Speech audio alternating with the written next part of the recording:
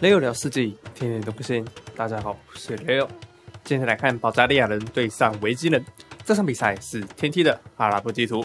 好，先来介绍一下蓝方选择的文明是保加利亚人。保加利亚人是比较特别的文明，它没有任何的经济加成，但是它有一个特殊的建筑物，叫做营垒啊。这个营垒呢，跟城堡的伤害值哦是差不多的。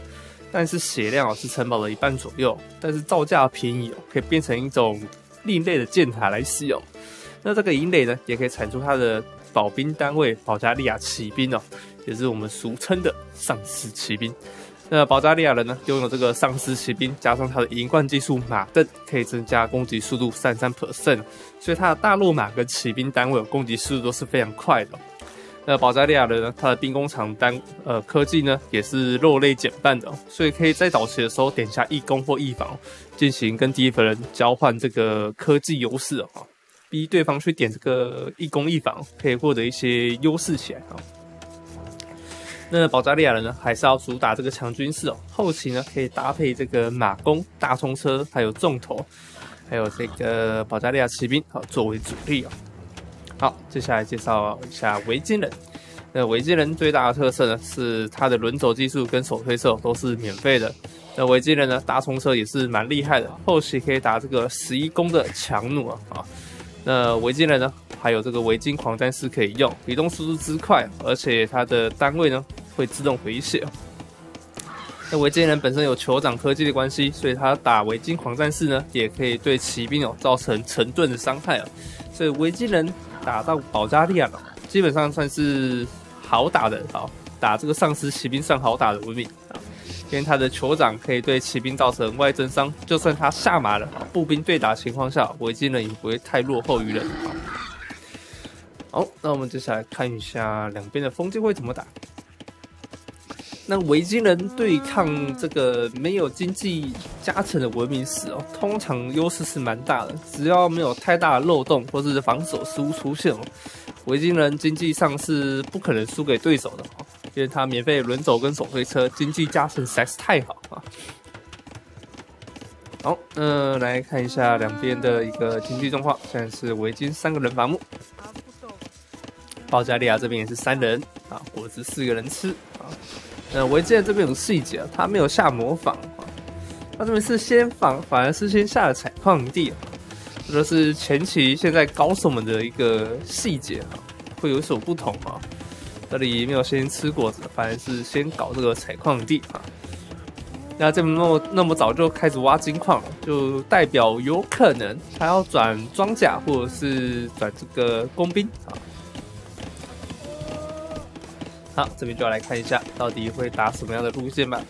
好，维京这边点下封建赛之后，没有下军营，那有可能是直接打工兵路线喽。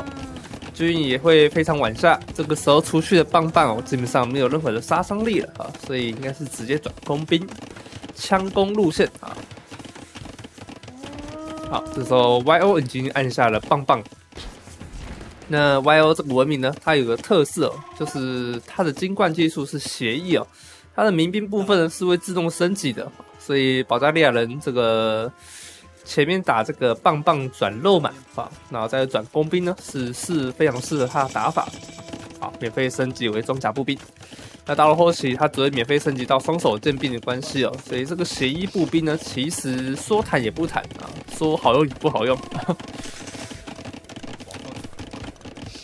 好，维京人这边是补下了一个射箭场之后，看一下这边操作，立即伐木点下。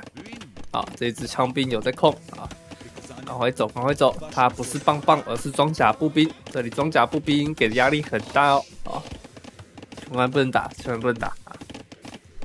如果是棒棒的话，还可以稍微用枪兵去戳戳一下啊，跟村民一起打啊。但是装甲步兵的话，输出实在太高。好，这里可能要开打了。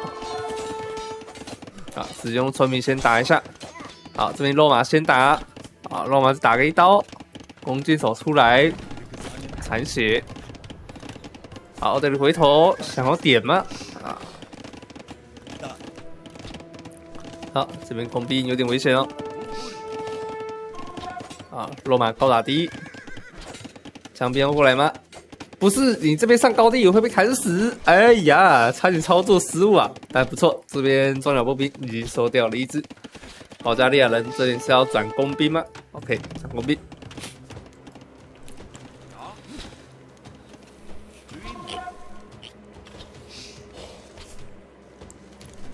好，那围巾这边是没有点下一级农田的啊，这边是非常迫切的，就开始撒农田了。但没有关系哦，这边待会撒第二轮农田之前哦，啊，先把这个自动撒农田取消掉啊，就可以了啊，那你就不会自动去撒第二轮农田。这个算是高手们的一个前期细节操作。那我们最近呢会开始讲一些高手们的高端细节啊，跟你们。跟不是跟你们跟我们一 一般玩家差距在哪？就是他们会注重这些细节啊。哎，这边自动耕田它就取消掉了。那如果他要点这个一级农田的话，通常是会开起来的啊。OK，那维基人这边细节是打的非常好。啊呃，待会啊，待会待会啊，现觉现在绝对不是点一级农田的时候啊。等这个肉量吃完之后，好，这里先补了一个马厩，把这边先围起来。有些人前期打的算是挺保守的啊，都把兵放在家里，防守为主。那保加利亚人呢？这边是没有经济加成的啊，所以应该会比较急的，反正是保加利亚啊。YO 这边应该是要迫切的赶快想要进攻，所以他这边赶快拉了一些兵过来，而且一攻一防都点下喽。你的一攻防点下只需要一百两哎一百黄金跟五十呃一百食物跟五十黄金而已，所以保加利亚人啊前期打这个攻防提升哦是很有优势的啊，如果是维京人的话就是要两百跟五十黄金哦，就差很多，这个肉类减半效果真是不错，而且维京人这边哎也点下一级色了啊，但是他知道毛病全部都在我家里啊。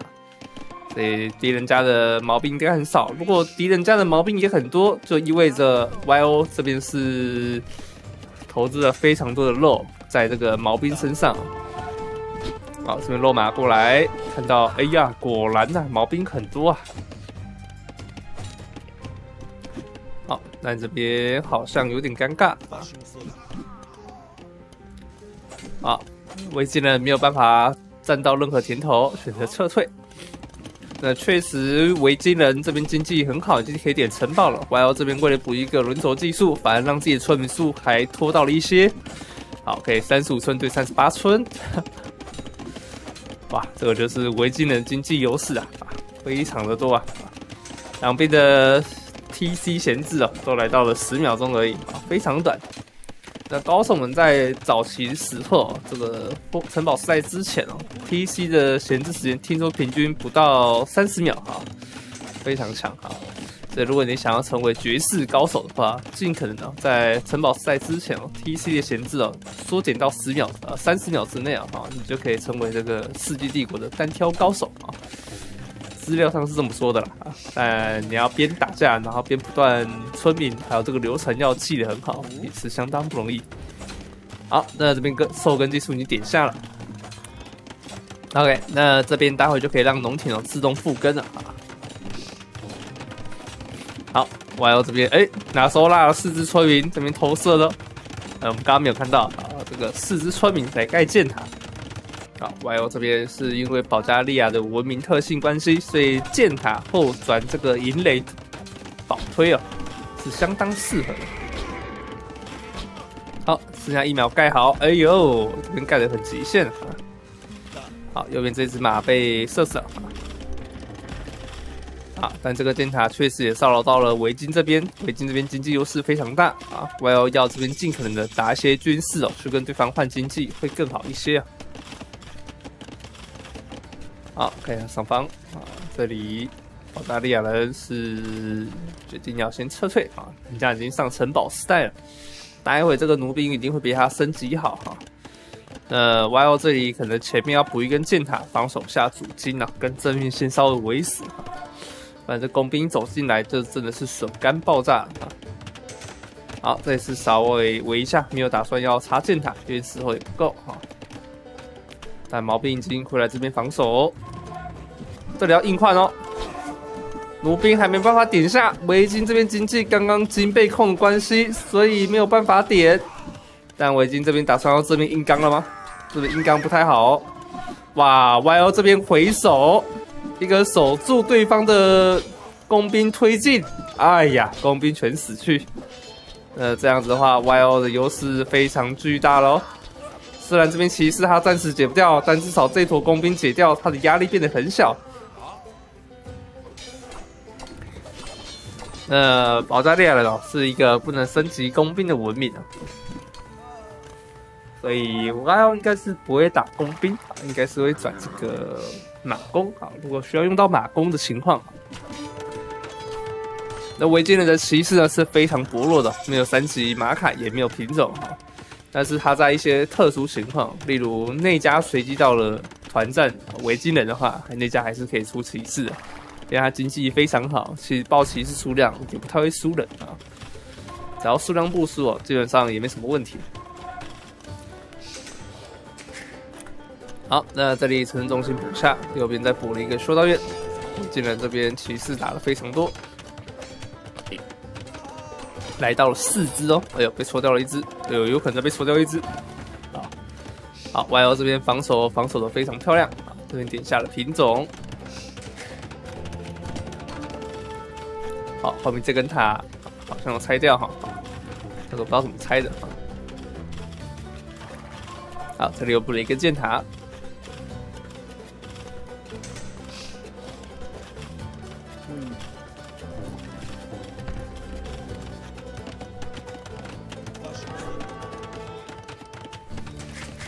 好，这里补下了城镇中心，现在是双 TC 开诺啊，这边骑士抓到了两只村民。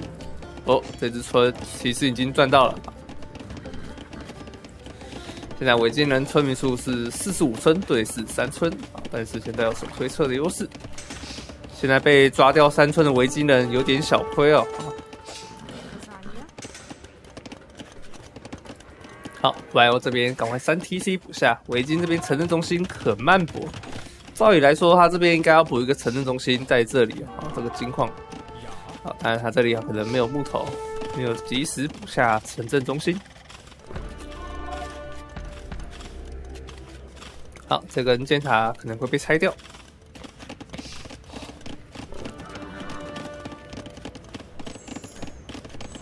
这里赶快按一只僧侣来补下骑士的血量。李维金节奏打的偏慢，哇，这个要自低了吗？对，这要自低哦，不然会被招降掉啊。好，上方有一只骑士溜了进去，但是后方枪兵已经过来，快闪快闪！好，围一下，用拳头扁他。这个骑士这里有洞，让他钻吗？不敢钻，怕钻过去他马上盖房子啊！啊，怕 YO 的防守能力啊！哎呀，这个瞬间防守能力，YO 应该是不会输的啊！啊，这边还在砍这些村民，还在骚扰。啊，骑士在绕。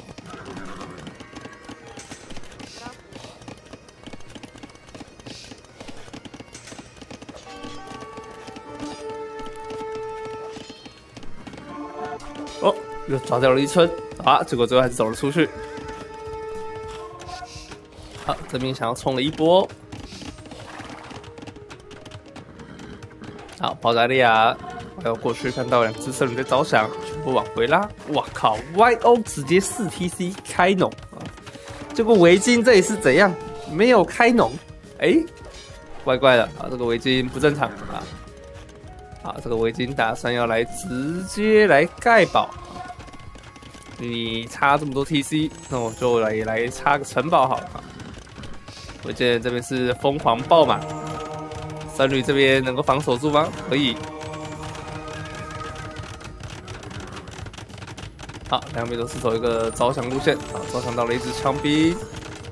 僧侣还在往前走，YO 没有打算要碰这些骑僧侣了，打算要送掉。死也要招降。哎呀，那这个一类也在互插。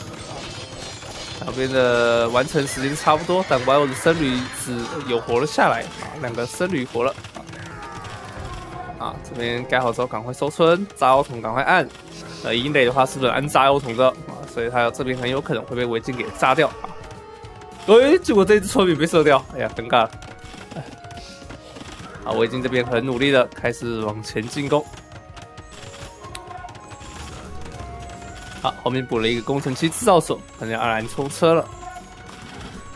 澳大利亚人这边暂时不太好打的感觉。这边炸药桶按了一二三四五六六个炸药桶，应该是能炸掉这个一类的。问题八大。好，骑士收到城堡里面。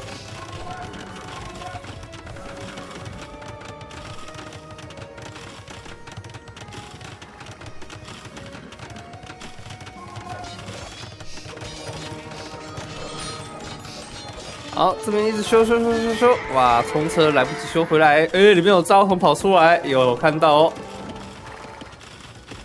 好，骑士去哦，谁炸？哇，直接炸掉！我们回去看一下这个精彩的回放，看一下这个回放是怎样炸掉的。一次放出来四个，哇，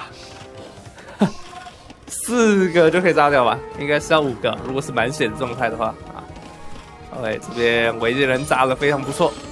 杀完银雷之后，开始要用围巾狂战士了吗？刚按了一只，围巾人这时候点下了抗招降前程科技啊。后方这边有一只骑士想要抓掉时空弓，但这边已经围好了哈。好，后方的经济暂时没有问题啊，这个黄金还可以，还是可以稍微开挖的啊。但围巾这边首要目标还是要打击 YO 的这边经济状况啊，这边经济状况还是要控下来才行啊。好，这边整出了一台冲车。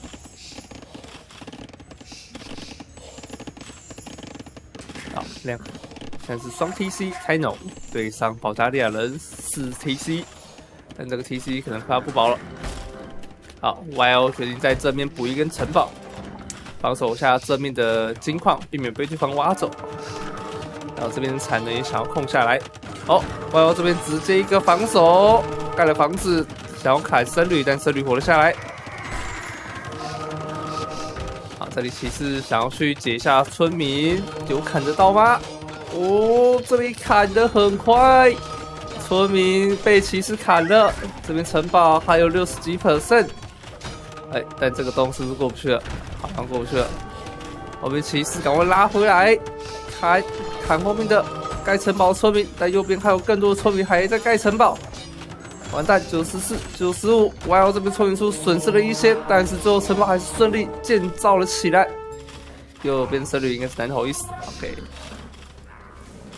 这一波 YO 极限夹住，没有被对方入侵进来，打得很好。好，白欧这边点下了二级农田，哇，居然二级伐木没有点，我已经这边设点二伐二级伐木的。好，这边这里盖了一根城堡，围巾人看来是有点害怕吗？本来盖营垒，但是看到城堡马上就离开了。好，现在双方打的是一个不寻常的战争啊！啊，这个围巾人难得可以看到他打这么的强军事哦，还点下了帝王时代。打强军是居然还脱身时代，这个攻势会稍微被减缓。可能看到这么多城堡跟营垒哦，觉得这里不省下城堡不行啊。嗯，好，但这个金矿可能还是要找个机会拿回来。维京人有这么多的资源，可以去插一根城堡守在后方吗？好，后面又补了一个营垒。好，维京这边按了一只马弓，想要解掉这里面的石矿工。但这边他在已经盖城堡了，很有可能会盖好。这不营垒要盖好了，哎呀，快闪快闪！哎呀，有点太慢，按了一只马弓啊！哎，好，这里一六死掉。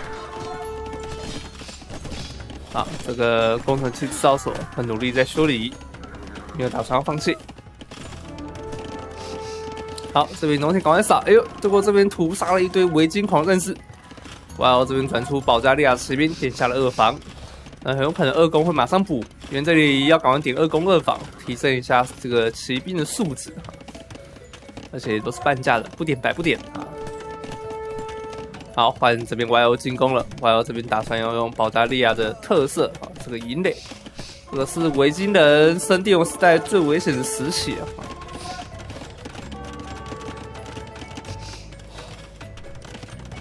好，YO 这边稍微把后方给围死，但保加利亚骑兵到处都在慢慢产生出来好，这边三 TC 往后开。好，这边直接走正门路进去，哇！真是被 T C 射，这个血量掉的很快，哇！全部残血，走到后方，但是已经矿挖完了啊。后方其实没有太多东西。好，Y O 这边直接用保加利亚骑兵这边硬靠，好，但这边骑兵数量有点多，骑士过来，围巾狂战士能挡住吗？哎，没有挡住，哎呀，被砍掉了僧侣。右边的保加利亚骑兵也在打架当中，左下角的维基狂战士守住了这一步的攻势。右边的 YO 又在盖了一根银垒，YO 的连续银垒进攻，怎么到处都能盖银垒啊？哎，YO 这边进攻打得非常漂亮，后面四台冲车已经过来了，这里要按更多的维京狂战士才行。好，这里赶快按这个维京狂战士出来挡一下吧。但这个城堡好像要掉了，维京人这边经济不太好。突然被盖伦都城堡，然后这里又被进攻，经济已经完全挡不住。现在也没有石头可以修城堡，这个城堡居然被解掉。哇哦这波打得非常漂亮，城堡顺利拿了下来。后方的巨型投石机慢慢产生了出来。好，这里要赶快集火，巨型投石机要赶快走。好，这里没有打算要走了，再投一发投石。OK，解掉还冲车。我们赶快继续打冲车！哎呀，最后上方的巨型投石机守了下来。好，右边的投石车跟鹰猎也在进攻当中。我已经这边突然一夕之间没有正常农田可以开始种田。哎呀，农田只剩下二十一只村民了！然后这边进攻打得非常漂亮啊，目前没有暂时没有太大的问题哈。好，有一只马蜂这边骚扰。好，保加利亚骑兵还在打，还在打。啊，这个营垒应该也是要盖起来了。营垒就是保加利亚最大的杀器啊！一直盖，一直爽啊！哇，又控到了农田，又控到了黄金。这个围巾这边很难受啊，后面也差距也被打出来了。好，后面补了一个工程器制造所。但是现在维京呢有巨型投石机的射程优势，好，他又变成城镇中心，直接失守。现在按维京狂战士出来防守，保加利亚骑兵也不太容易。按僧侣来说的话，可能会比较好防守一点点。好，这是残血僧侣还是能活下来。好，正面进攻，再来一次啊！澳大利亚骑兵这里数量非常多。好，这边维京人拉了一些村民到了右边，想要找野矿，但是右边什么都没有。哎呀，他的野矿在左边啊！这一个地图真是让维京人深感痛心。走了这么久，走到荒野还是没有找到矿。维京这边断矿的关系，所以现在没有办法任何造出任何的黄金兵种，甚至按一个僧侣都要靠买卖才能买得出来。好，右边终于拆掉这个银垒，我要用这个银垒争取到非常多时间。上方的保加利亚骑兵已经突破了城中心的防线，上方我已经反战士数量虽然堆堆叠了起来，但是可能是无法挡住这一坨的保保加利亚骑兵二攻二防的状态啊。好，这边直接一个逐层战法，但是上面还是有个漏洞，保加利亚骑兵直接冲了进来，要来给维京最后一击吗？这两台巨型投石机被拆掉的话，还有机会可以逆转吗？右边的宝营内也没有拆除成功，两台巨头被打掉。这边维京人打出了 GG，我们恭喜 YO 拿下比赛胜利。哇靠，YO 最后是拿了五十只的保加利亚骑兵对决啊，二十五只的维京狂战士。哇，YO 这场打的真的是非常非常丝滑啊，丝滑，非常流畅啊。保加利亚就是该这样打哈。这个塔攻，然后后面接营垒的攻势哦，打得非常的好。但我觉得最重要的是哦，维京居然没有早早开脑，反而是选择了单 TC，然后去前玩插城堡这件事情啊，这个 TC 应该要早早补下，不在这个位置啊，还有这个啊，这个这个地方可能要先补，这个矿真的是要安全起来啊，然后再往上补也可以哈。那维京人可能想说，他自己的副矿哦，都是离得比较偏前面一点，打点强军事哦，可能对于自己的领地保守也会比较安全啊。但没想到 Wild 的营垒防守能力不错啊，而且进攻来说，营垒也是起到了很好的作用，甚至控制了维京后方这个矿啊。那左边这个城堡如果插在后面的话啊，那可能会对维京人会比较好。但他这边选择了把城堡插在前面，因为 Wild 来这边插营垒，所以让他没有办法，只能把这个城堡投资在前方。好，我们来看一下经济的部分。那经济的部分是由 YO 拿到了四万二的经济资源，赢得大概快要九千了，资源全胜了啊！结果维京人经济最强，结果反而是打的有点经济最落后哈。果然啊，这个经济要好，还是要开 TC 啊。YO 这边是达到了一百五十村哦，经济非常优秀。好了，那我们今天影片就差不多到这喽。那如果喜欢这部影片，请记得帮下订阅，我们就下次再见喽，各位拜拜。